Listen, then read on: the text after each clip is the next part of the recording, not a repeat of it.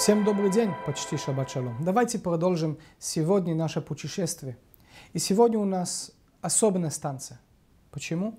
Потому что мы читаем в ближайший шаббат завершающую главу первой книги из пяти книги Моисея. Мы завершаем книгу Берешит в главе, которая называется «Ваехе Яков» и «Жил Яков», жил наш праотец Яков.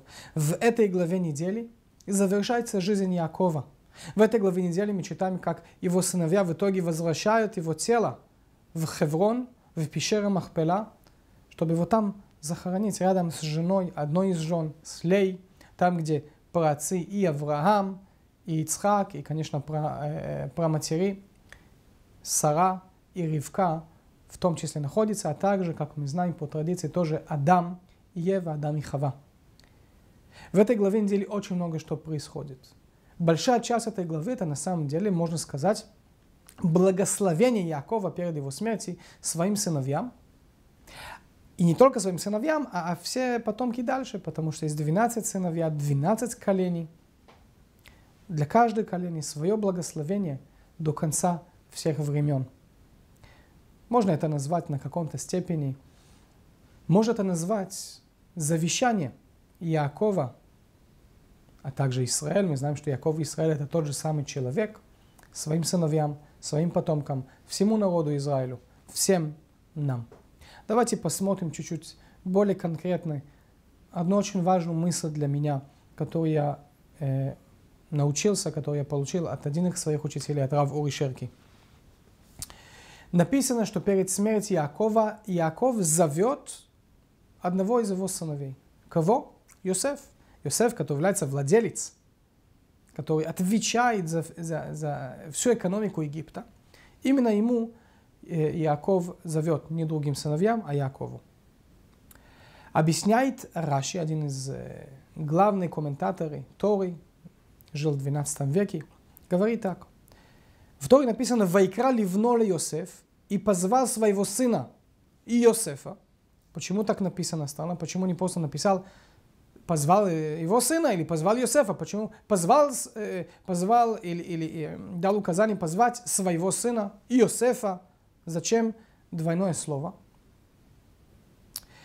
Лемиша ехолет биядо ласот.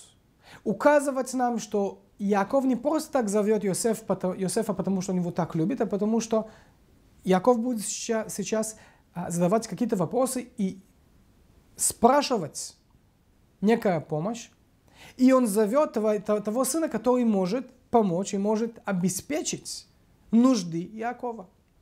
Яков хочет спросить, чтобы его хоронили все-таки на земле Кна, на земле Израиля, в пещере Махпела.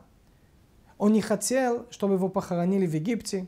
Он не хотел, чтобы потом от его места хоронения сделали какое-то идолопоклонство. Все-таки Яков был уважаемый человек, мощный духовный человек для всего Египта отец владель, владельца земли. И он зовет Иосиф, потому что Иосиф может это организовать. Другие из его сыновьев, скорее всего, не могут. Если мы читаем Тору чуть-чуть более глубже, можно и понять, что на самом деле в первую очередь Яков зовет, говорит ко Всевышнему, потому что мелодия, как читается Тора, кстати, да, в шаббат, когда мы читаем Тору, мы читаем с определенной мелодией. У этой мелодии тоже есть глубокий смысл. Это не просто, что было красиво или приятно.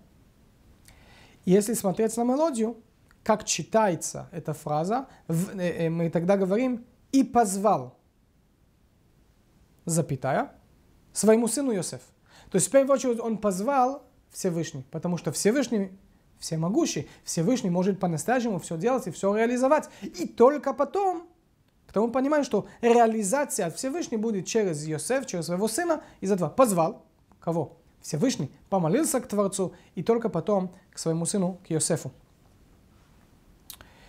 И кроме это, этой просьбы, кроме этой просьбы, Яков зовет Йосеф почему? Потому что у Йосефа есть статус, который нет у своих братьев у нас есть три працы и четыре праматерей. Помните? Авраам, Ицхак, Яков. Три працы. И четыре праматерей – это Сара, Ривка, Рахель и Леа. Рахель и Ля, конечно, в добавлении Бильха и Зильпа, но они под, можно сказать, э, э, прикрытие Рахель и Ля. Мы говорили об этом э, не так уж и давно.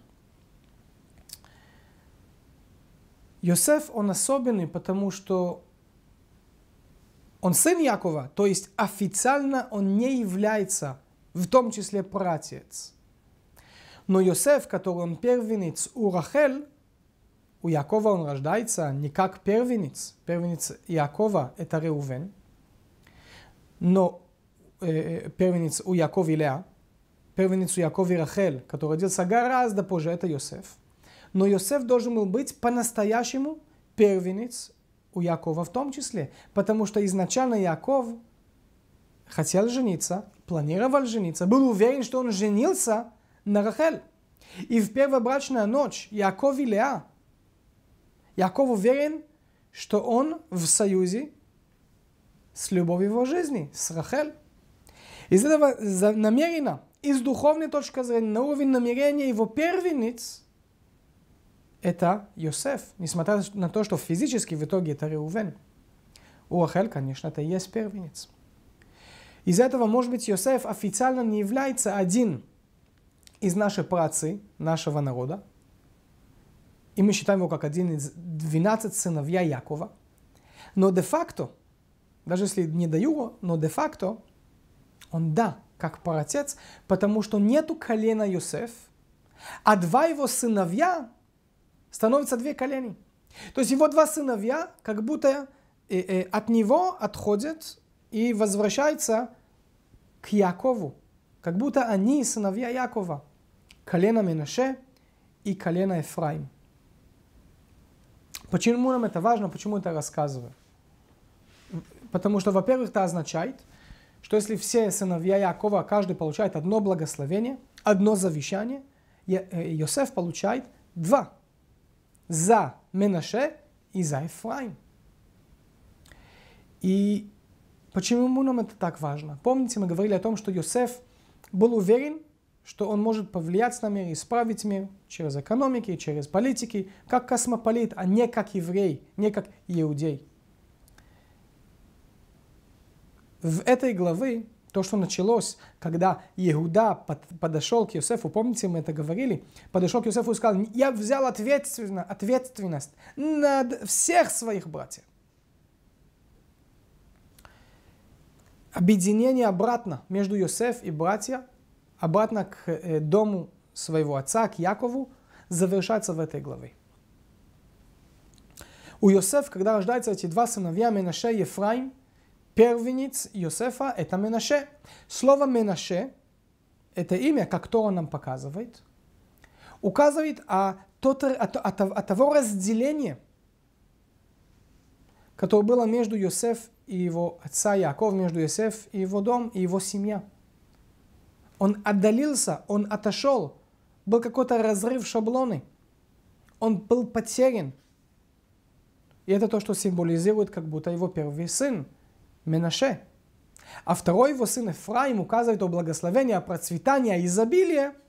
И может быть, Иосиф как раз понимал, что это изобилие, этот успех к нему дошел именно потому, что был разрыв шаблон, именно потому, что он отдалился от своего отца, от Якова, от своих братьев. Он сейчас космополит. И оттуда благословение и процветание. Так казалось. Из-за этого имя второго его сына это Ефраим.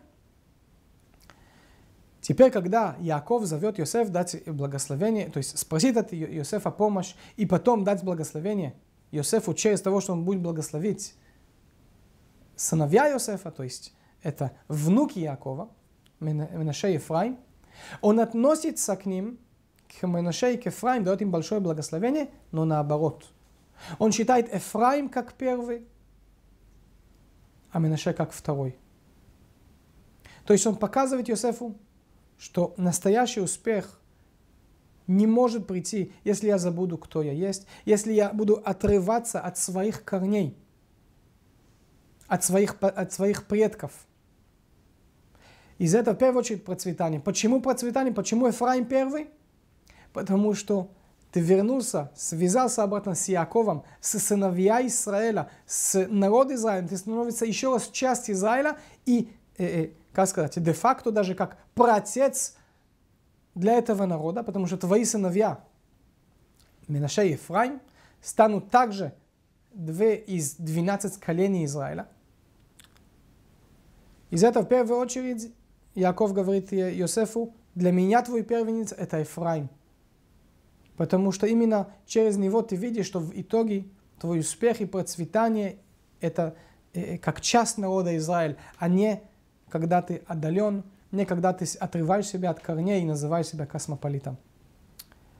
И только потом благословение Менаше, тот Менаше, который звал, думал, что он его называет Менаше как а, а, некая символика того, что он забывает дом своего отца, забывает свою семью, отрывается от них.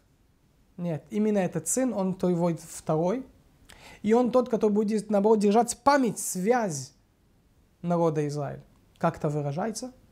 Что много-много-много лет спустя, много лет спустя, примерно 250 лет, может быть и больше, когда уже народ Израиль, после того, что вышли из Египта и уже подходит к Израилю,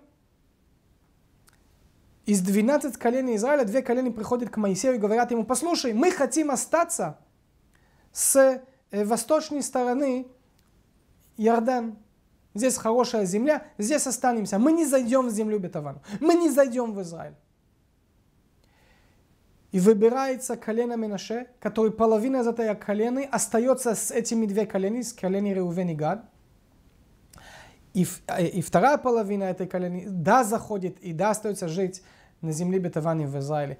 Именно тот Менаше, который казалось, что является символика э, э разрыв шаблоны, что э, Йосеф отдаляется от семьи, от отца, это то колено, которое будет держать в память и будет связать 10 коленей внутри земли Израиля и две колени, которые решили остаться вне Израиля.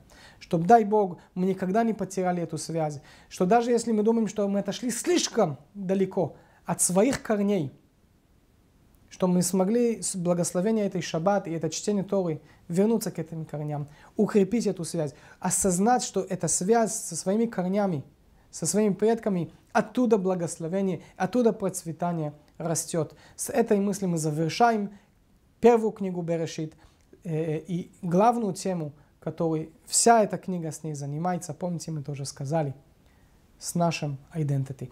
Шаббат шалом.